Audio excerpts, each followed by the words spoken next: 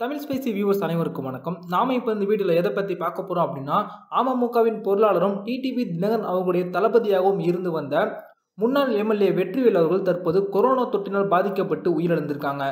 அவங்களுடைய அரசியல் பயணத்தை பற்றி தான் நாம இப்போ பார்க்க போகிறோம் ஆயிரத்தி தொள்ளாயிரத்தி தொண்ணூறுகளின் தொடக்கங்களில் சென்னையில் காங்கிரஸ் கட்சியின் இளம் தலைவர்களில் ஒருவராக இருந்தவங்க வெற்றிவேல் ஆயிரத்தி தொள்ளாயிரத்தி தொண்ணூற்றி ஆறில் காங்கிரஸ் கட்சியில் பிளவு ஏற்பட்டு மூப்பனார் தலைமையில் தமிழ் மாநில காங்கிரஸ் உதயமானது. அப்போது சென்னை மாநகராட்சியில் தமாகவும் தனி செல்வாக்கோடு இருந்தது.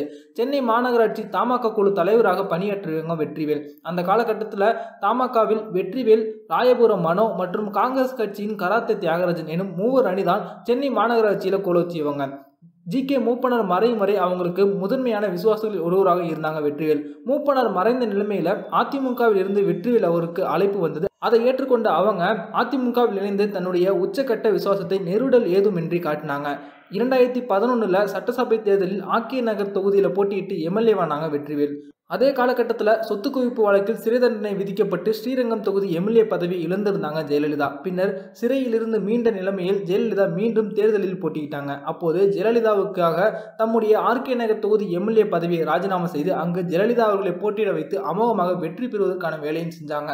ஜெயலலிதா மறை மறைவுக்கு பின்னர் சசிகலாவின் தளபதிகளில் ஒருவராக மாறினாங்க. சசிகலா தினகரன் அணியின் பிரதான தளபதியாக நம்பிக்கைக்கு உரியவராக இருந்தவர் வெற்றிவேல். முதல்வர் எடப்பாடி பழனிசாமி அரசால் தகுதி நீக்கம் செய்யப்பட்ட பதினெட்டு தினகரன் ஆதரவு எம்எல்ஏக்களில் வெற்றிவேல் அவர்களும் ஒருவர். ஆனால் கடந்த ஆண்டு பெரம்பூர் சட்டசபை தொகுதிக்கான இடைத்தேர்தலில் போட்டியிட்ட வெற்றிவேல் சுமார் ஆறாயிரம் வாக்குகளை மட்டுமே பெற்றாங்க. இருந்த போதிலும் சசிகலா தினகரன் மீதான விசுவாசத்தால் அதே முகாமிலேயே நீடித்தாங்க. பல பேர் அமமுகவில் இருந்து விலகிய போதிலும் வெற்றிவேல் அவர்கள் தினகரன் அவர்களுக்கு உறுதுணையாக இருந்தாங்க அப்படிங்கிறது குறிப்பிடத்தக்கது.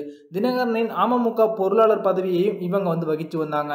ஜெயலலிதா சிகிச்சை தொடர்பாக மட்டுமல்ல தமிழகத்தின் பல்வேறு முக்கியமான அரசியல் ரகசியங்களை அதிகம் அறிந்த நபரும் கூட வெற்றிவேல் தான் தற்போது கொரோனாவின் காவுக்கு இவங்க பலியாகி விட்டாங்க இது அந்த கட்சியில் இருக்கக்கூடிய தொண்டர்களுக்கு பெரிய அதிர்ச்சி ஏற்படுத்தியிருக்கு. இந்த வீடியோ உங்களுக்கு பிடிச்சிருந்துச்சுன்னா லைக் பண்ணுங்கள் ஷேர் பண்ணுங்கள் நன்றி.